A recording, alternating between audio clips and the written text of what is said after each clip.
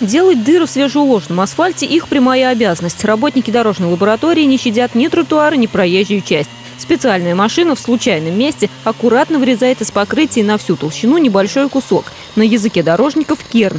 Это образец уложенного покрытия. Керн отправляют в лабораторию для тщательного исследования. И здесь с ними уже не церемонятся.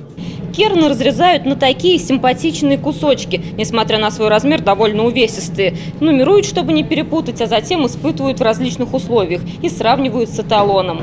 Эталоны изготавливают здесь же в лаборатории. Привезенные образцы замораживают, исследуют на прочность и количество воды в составе. Чем ее меньше, тем долговечнее покрытие. Обязательно смотрят, сколько битума использовали при работе. У нас есть установка, которая отделяет битум от минеральной части.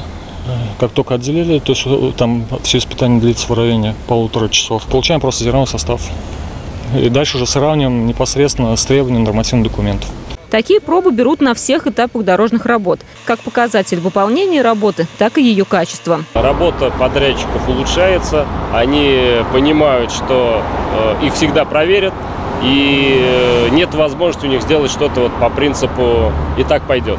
Там, где возникают вот моменты каких-то несоответствий требованиям проекта либо ГОСТа, подрядчиком производится за свой счет устранение этих выявленных э, нарушений. Отверстия в асфальте остаются на совести подрядчиков. Именно они обязаны заделать их до следующей приемки работ.